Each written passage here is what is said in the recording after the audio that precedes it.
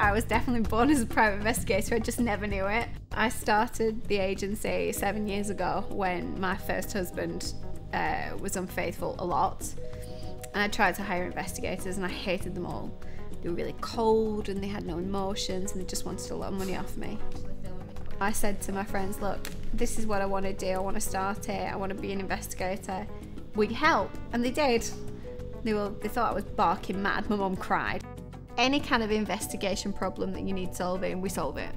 Cheating partners, child maintenance, fraud investigations, general fraud and background checks.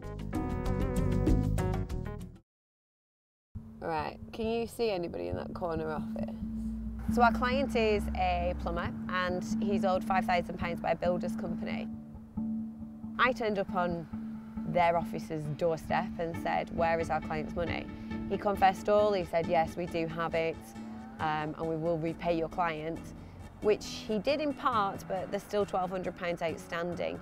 We've waited nearly a year now for the payment, so he's going to get another doorstep from me. I need to get up their number. Even finding their phone numbers is hard work. Uh, right. They also they hide behind like 02 or 3 numbers in London and the bloody Nottingham. This is going to be entertaining.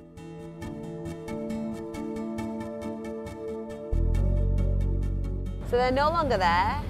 We have to start all over again and try and find them again.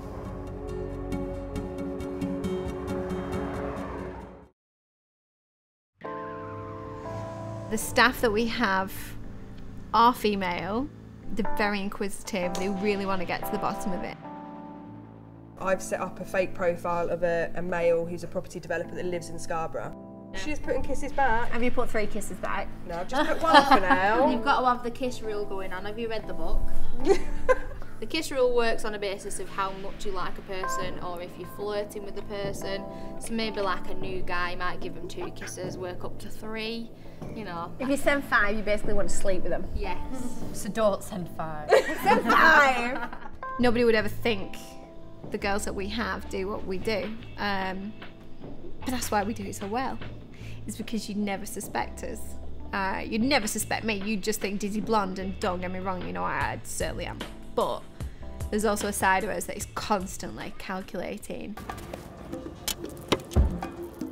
So today's case is we have a client who is a male model and his pictures have been used by somebody um, to pretend that he is our client so that he can meet girls online. He's met a lot of girls online over the last three years. He's created 52 fake profiles and he's received a lot of very graphic images from these girls in question. We need to ring Kirsty, who is the girl that has been honey trapping the client. She needs to ring him and try and engineer the meeting. Hello. Hi Kirsty, it's Rebecca. Hiya, you're right. I'm good. How, what is the situation at the minute? Well, I'm going to ring it now. Okay. Uh, so if I say, you want to take it out for five, yeah? Ideally, yes, please. That would be perfect. Obviously, just play it as you think. I mean, you've done a great job so far, but um, just play it as you think. Hello there. Hi, Matt. How are you doing? Good to meet nice you. to meet you, Matt. Nice I'm. Rebecca. Nice to meet you, Rebecca. Take a seat. Thank you very much. So the good news is, is that we have the guy who's been pretending to be you, Right. and he has agreed to come on a date with us Oh, really? this afternoon. What questions do you want to ask him? Why, really? Just, uh, I mean, it's, it's kind of bad enough that he's been doing it using my image, but it's more what he's trying to get out of by doing it. It's Mm. just, uh, yeah, he's, he's got some questions to answer, so we'll see if he sticks around to answer them. Okay. My, uh, my guess is that he probably won't, but I've got see. a, I've got a feeling he's going to run when he sees Well, us. yeah, but but, uh, um, the location that we've picked is quite. It's a country property. Right. So you'll have quite Get a your running distance shoes to on run. I'm gonna the shoes will go and I'll just leg it. It'll be fine. Right. Um, but yeah, it's, we'll see how we get on. yeah. He keeps using images of my niece and my nephew. And it- Really? yeah, and it's almost got to the point where I feel I'm gonna have to like privatise all Yeah. my social media. And why should I have to do that? Do you know what I mean?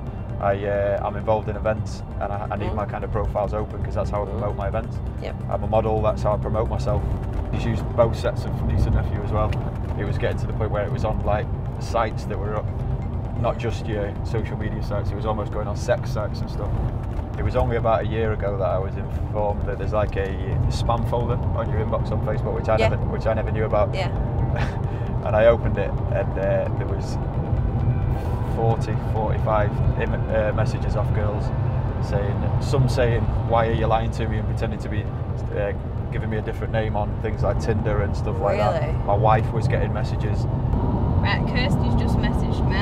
Mm-hmm. Um, she's saying that he's asking for her to send a picture when she gets to the bar, but he's also asking for him to send her WhatsApp location. Paranoid. It seemed like he was paranoid because he said he felt like he was being set up. Oh really? Yeah. Oh. He said, what? What's he said from that? Um, she said that she weren't trying to set him up.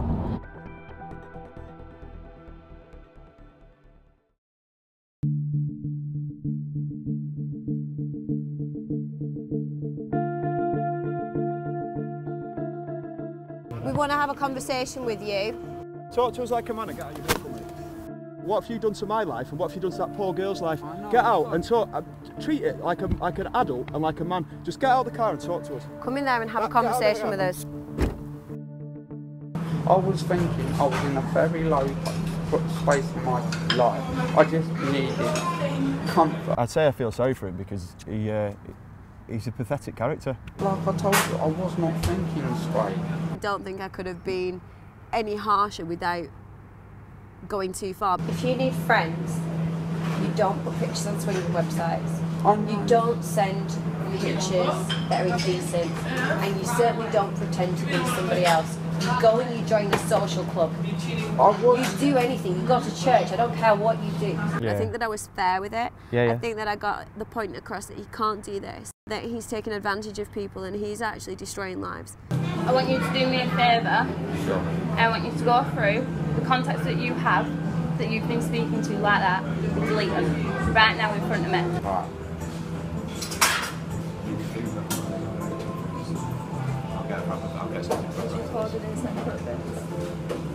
I'm still really angry, but when does it have to get to that point that where you need to you, you need to use that just to get a bit of sexual gratification? And uh, but then at the same time, I, I'm completely 50-50. I'm on the fence because he's he's completely using abusing girls to Yeah. do that, and you can't do that. That's that's categorically not right. We do have all the information of all the girls that he was speaking Yeah. to. We will obviously contact them and tell them what the truth is. Well, do you know what? Then I think it's up to them. I think it's up to them. I, I will leave it up to them. If they want to go to the police, then they, they have my blessing. Then go for it. But eh, for me, I, I, I'm willing to give him another chance. I shook his hand when he left and just said, "This is it now."